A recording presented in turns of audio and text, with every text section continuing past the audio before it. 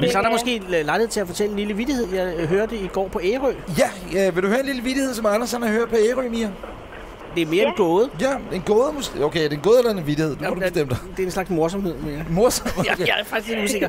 Det var en socialdemokrat, der fortalte mig den. Ja. Øh, han siger, øh, og nu kommer den. Og er du klar, Mia, også? Mia, er du klar? Ja. ja, ja. Hvorfor kan mænd godt lide kvinder i lædertøj? Skal huske, at Mia, hun er 17 år gammel. Snart 18. Hun er ikke fyldt 18 endnu. Don't shoot the messenger. Okay. Det er dig, der har spurgt, om hun var bange for phishing. Lad mig høre. Lad mig lige få den igen, øh, morsomheden. Hvorfor er mænd glade for kvinder i lædertøj?